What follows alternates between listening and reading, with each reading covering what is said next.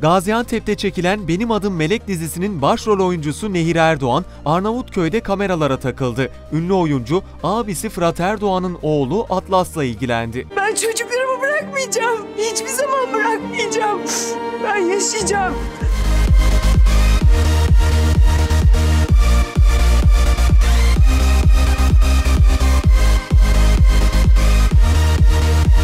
Erdoğan, yeğeninin kameralara poz vermesi üzerine gülmeye başladı.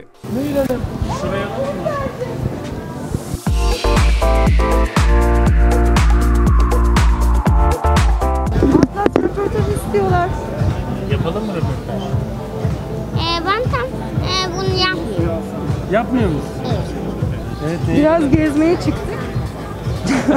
Soruları sen sor Atlas'ın.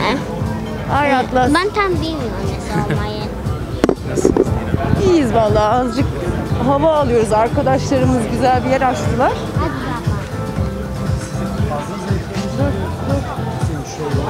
Nehir Erdoğan, minik Atlas'ı abisinin yanına gönderdikten sonra röportaja devam etti.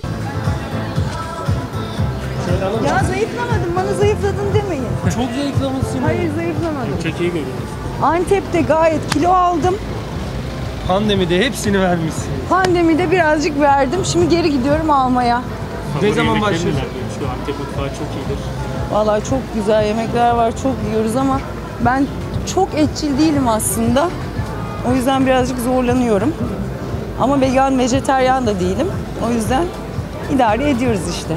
Erdoğan, Benim Adım Melek dizisinin çekimlerine 10 Temmuz'da başlayacaklarını söyledi. İyi gidiyor. Başlayacağız Temmuz 10'da bakalım tekrar Antep'te çalışmalara başlıyoruz. 55 derece sıcakta nasıl olacak göreceğiz. Ünlü oyuncu karantina öncesinde de ekmek ve yoğurdunu evde kendisinin yaptığını ifade etti. İnsan pandemide öyle çok fazla şey yapmak gelmedi insanın içinden. Artık ne bulduysak yedik yani.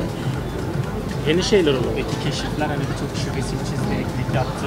Kendi isimli aslında Ekmeğimizi yeni kendimiz buluşlar yapıyoruz. Pandemiden önceden beri ekmeğimizi, yoğurdumuzu kendimiz evde yapıyoruz. Bunlar güzel şeyler. Geçeyim mi? Tamam, Çocuk peki, bekliyor. Tamam. Peki Hadi görüşürüz.